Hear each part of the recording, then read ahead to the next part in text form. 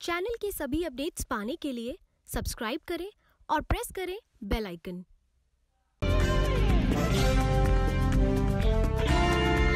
नमस्कार, आप देख रहे हैं इंडिया टाइम 24 न्यूज़। आपके साथ मैं हूँ प्रवीण और इस वक्त हम पहुँचे हैं पालम विधानसभा से विधायक भावना गोड के पास। उनसे हम खास बातचीत करेंगे और समझने की कोशिश करेंगे कि एक महिला के तौर पर उनका राजनीतिक सफ़र अभी तक का कैसा रहा। पॉलिटिकल व्यूज़ भी हम उनसे लेंगे। चुनावी माहौल है लोकसभा चुनाव नज़दीक हैं। बहुत स्वागत है। जी नमस्कार। सबसे पहले तो मैं जानना चाहूँगा पहला इंटरव्यू है आपका हमारे चैनल पे और समझना चाहूँगा कि राजनीतिक सफ़र आपका आज तक का कैसा रहा? क्योंकि आम आदमी पार्टी की एक लहर चली थी उसी वक्त जो विधायक आए थे उसी वक्त आपने ज्वाइन किया। तो क्यों ना आप बिज़नेस में गए क्यों नहीं आपने कांग्रेस ज्वाइन की आम आदमी पार्टी क्यों ज्वाइन की और कैसे इंटरेस्ट आया? जी जी।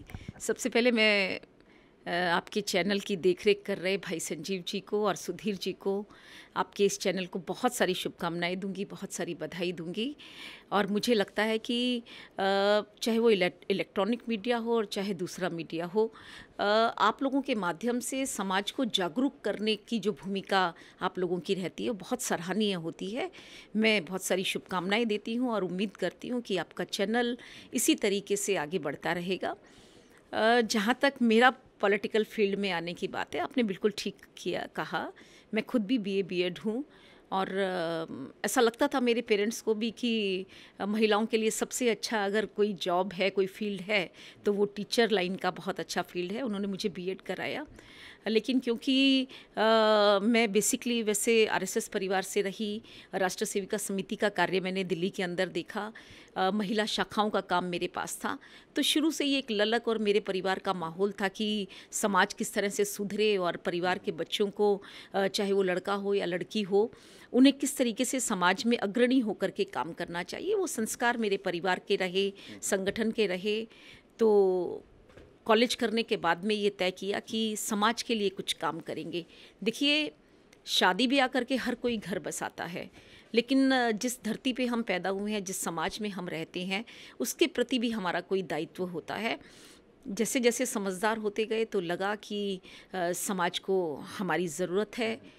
उन्नीस सौ सतानवे में, जब दिल्ली के अंदर चौदह साल बाद दिल्ली नगर निगम का गठन हुआ, जो कि चौदह साल भंग रही 97 के अंदर ये तय हुआ कि दिल्ली के अंदर नगर निगम में 33 परसेंट आरक्षित सीटें महिलाओं के लिए होंगी। उस समय भारतीय जनता पार्टी में महिलाएँ नहीं होती थी तो उन्होंने आरएसएस को कहा कि आप अपनी महिलाएँ जो फ़ील्ड में काम कर रही हैं उन्हें दीजिए। माननीय लोकसभा की स्पीकर जो इस समय हैं सुमित्रा महाजन जी वो भी स्वयं राष्ट्र सेविका समिति से हैं। दूसरा मैं भी आई राष्ट्र सेविका समिति से। और बीजेपी ने मुझ मुझे मांगा आरएसएस से कि आप हमें दीजिए और हम इस महिला को चुनाव लड़ाएँगे। उसी प्रक्रिया के तहत सन उन्नीस सौ सत्तानवे में अ, मैंने भारतीय जनता पार्टी से चुनाव लड़ा। दिल्ली के सबसे कम उम्र की पार्षद होने का सौभाग्य मुझे मिला। नजफगढ़ जोन की चेयरमैन में रही अपॉइंटमेंट प्रमोशन कमेटी मेरे पास में रही, उसके बाद में बहुत सारी महत्वपूर्ण कमेटियाँ एमसीडी में होते हुए मैंने देखी।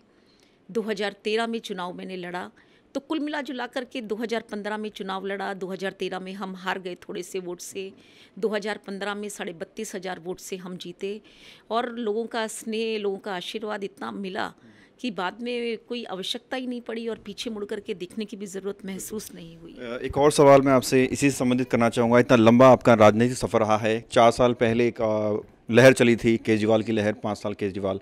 हिंदुस्तान की सबसे पुरानी पार्टी कांग्रेस को आपने ज्वाइन नहीं किया बीजेपी में आप रही। लेकिन क्या ऐसा आपने आम आदमी पार्टी में देखा कि आपने आम आदमी पार्टी ज्वाइन कर ली? मैं बताती हूँ आपको। आपने सही कहा राजनीतिक कैरियर मेरा 25 साल का कैरियर है।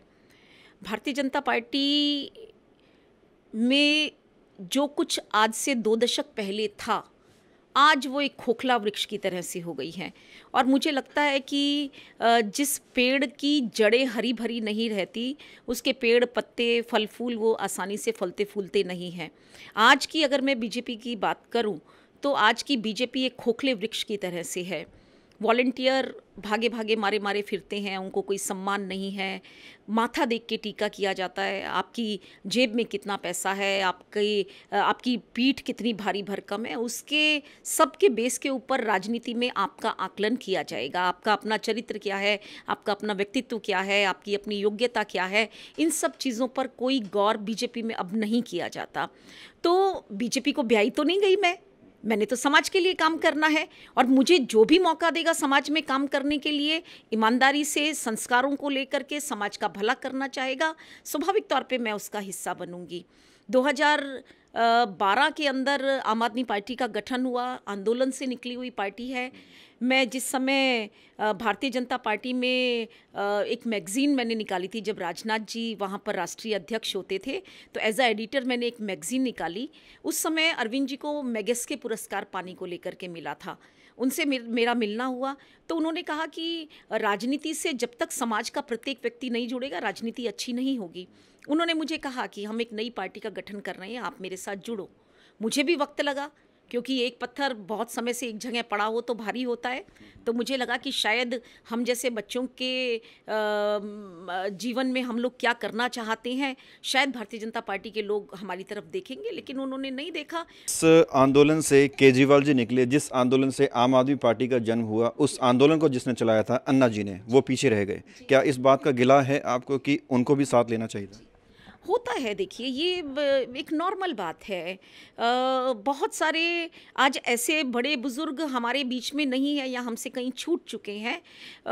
अक्सर ऐसा होता है कि जिस वृक्ष को हम लगाते हैं, उसका फल हम नहीं खा पाते हैं। तो स्वाभाविक है, कुछ वैचारिक मतभेद को आप उसको कह लो या कई बार ऐसा मुश्किल हो जाता है, आने वाली पीढ़ी, पीछे वाली पीढ़ी को साथ लेकर के नहीं चल पाती है। वो उनके जो भी कुछ है, वो आंतरिक तौर पे है, लेकिन अन्ना जी ने जो पौधा लगाया, वो पूरी तरह से फल फूल रहा है, वो सींच रहे हैं हम उसको और उनकी विचारधाराओं को जैसे भ्रष्टाचार नहीं होना चाहिए, ये उनका पहला मुद्दा था। भारत को, पूरे भारत को हम भ्रष्टाचार मुक्त करेंगे। आज हमारी सरकार भी उस पहलू को लेकर के चल रही है? और ये सब में फ़र्क है केजरीवाल के और अन्ना जी के। अन्ना जी कहते हैं कि राजनीति कीचड़ है और केजरीवाल जी उस कीचड़ में घुस चुके हैं। नहीं नहीं बात ऐसी नहीं है। मुझे आप एक बात बताइए क्या राजनीति अगर प्रत्येक व्यक्ति अगर राजनीतिक पहलू को ना छुए तो क्या उसका जीवन आपको संभव लगता है? आज गली में, गलियारों में, चाय की दुकान पर, परचून की दुकान पर, घर में, टीवी के सामने व्हाट्सअप पे मीडिया पे फेसबुक पे, हर आदमी कहीं ना कहीं अपने अपने तरीके से राजनीतिक पहलुओं पर चर्चा करता है। तो हम उससे अनभिज्ञ कैसे हैं? राजनीति जो है, वो गंदी नहीं है। हाँ आपकी नीयत कैसी है? आपकी सोच कैसी है? देखिए, पार्टी कभी गंदी नहीं होती। व्यक्ति की विचारधारा उसको गंदा और अच्छा बनाती है। तो मुझे तो लगता है कि अगर प्रत्येक व्यक्ति और विशेष तौर पे नौजवान पीढ़ी महिलाएँ वो महिलाएँ जो आज तक केवल घरों को देखती आई थी आज वो आ, मैंने देखा मैं स्वयं से अपना अनुभव बताती हूँ। मेरी माँ जो जिन्होंने अपना जीवन आज तक केवल बच्चों के पालन पोषण पे और अपने परिवार को पालने पर लगाया। जब आम आदमी पार्टी और अरविंद जी ने राजनीतिक पार्टी बनाई तो देश में क्या उथल पुथल हो रही है? दिल्ली की राजनीति कैसे फेरबदल उसमें हो रहा है? लोगों की सोच क्या है? इवन देन क्योंकि समय के अभाव के कारण कभी कभी मैं टीवी नहीं देख पाती हूँ, न्यूज़ नहीं सुन पाती हूँ। आज मेरी माँ जब मैं घर जाती हूँ तो मुझे बताती है कि दिल्ली में क्या हुआ? देश क्या कर रहा है? मोदी क्या कर रहा है? अरविंद केजरीवाल क्या कर रहे हैं? लोग क्या चाह रहे हैं? इन विषयों की जानकारी वो मुझे देती है मीडिया क्या दिखा रही है, उसकी जानकारी भी वो देती है। यानी एक ऐसी महिला जिसने आज तक केवल परिवार को कैसे पालना है उस पर ध्यान दिया, लेकिन आज वो राजनीतिक विषयों को लेकर के चर्चा कर रही है। यानी अरविंद जी की राजनीति ने महिलाओं को जागरूक किया है, नौजवानों को जागरूक किया पूर्ण राज्य का दर्जा दिलाने की मांग जो है आम आदमी पार्टी की शुरू से रही है, आज भी इसकी आवाज़ उठती है। एक विधायक के तौर पर आप जनता के बीच में रहते हैं, समझते हैं हर चीज़ को। भावना गोड कितना ज़रूरी समझती हैं पूर्ण राज्य को? क्या क्या काम रुके हुए हैं? बहुत ज़रूरी है। दिल्ली का विकास, दिल्ली के हर व्यक्ति का विकास, उसके व्यक्तित्व का विकास, उसके परिवार का विकास, सब कुछ कहीं ना कहीं अगर डिपेंड करता है तो दिल्ली के पूर्ण राज्य पर डिपेंड करता है। सब लोग जानते हैं दिल्ली केंद्र शासित प्रदेश है। मुझे लगता है कि आम आदमी पार्टी ने दिल्ली में आकर के जिस तरह का इतिहास रचा है, आज हमारी कंडीशन शायद उस राजा की तरह है जिसको राजा बिना बना दिया, मुकुट पहना दिया, कुर्सी पर बिठा करके उसको रस्से से बाँध दिया जाए कि आप राजा हैं लेकिन आप कुर्सी से बंधे रहेंगे, आप डिसीज़न ले सकते हैं, लागू नहीं कर सकते हैं। तो उस तरह की कुछ हालत हमारी अपनी सरकार की इस समय है।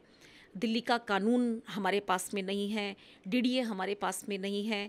आज कोई व्यक्ति अगर मेरे एरिए का आ गया, उसको कोई पड़ोसी से झगड़ा हो गया, किसी मोहल्ले में झगड़ा हो गया या किसी चलते हुए आदमी के साथ में कुछ बात हो जाती है तो उसकी सीधी सीधी शिकायत अगर हम पुलिस डिपार्टमेंट को करें तो वो नहीं मानते हैं। कानून हमारे अधिकार क्षेत्र में नहीं आता है। मेरा पालम विशेष तौर पे चारों तरफ़ से द्वारका से घिरा हुआ एरिया है। आप जानते हैं, द्वारका सिटी पूरी की पूरी डीडीए के पास में है।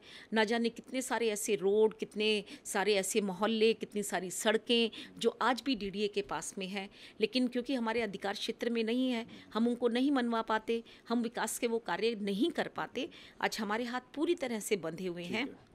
एक और सवाल मैं आपसे करना चाहूँगा, लोकसभा चुनाव को लेकर आम आम आदमी पार्टी का किस आधार पर वोट मांगेगी आम आदमी पार्टी? राहुल गांधी बहत्तर हज़ार दे रहे हैं, मोदी जो है कई तरह की योजनाएँ बना रहे हैं। आम आदमी पार्टी क्या ऐसा नया देने वाली है अपने वोटर्स को, देश दिल्ली की जनता को? और कितनी सीटें आप उम्मीद करते हैं? देखिए लोकसभा की सात सीटों पर दिल्ली के अंदर मेरी पार्टी चुनाव लड़ रही है। और हम केवल और केवल चार साल का हमारा कार्यकाल, नई बनी हुई पार्टी, हमारी सोच, हमारी नीयत, हम क्या कुछ अच्छा कर सकते हैं? उन सब बिहाब पर हम इस जनता से वोट मांगेंगे। और मैं विशेष तौर पे आपके चैनल के माध्यम से ये अपील करूँगी लोगों से कि देश का प्रधानमंत्री चाहे कोई भी हो, उस बात को सोचना छोड़ दें। आपका विकास कैसा होगा? आपके परिवार का भविष्य किस, किन सरकारों के हाथों में सुरक्षित है? आप स्वयं कहाँ सुरक्षित हैं? आपका क्षेत्र कहाँ सुरक्षित है? उनमें कौन विकास कार्य कर पाएगा? इसको मुद्दा बनाए और इसे सोच समझ करके वोट करें। जी बात करने के लिए बहुत बहुत शुक्रिया और इंडिया टाइम की तरफ़ से भी आपको बहुत बहुत शुभकामनाएँ चुनाव के लिए।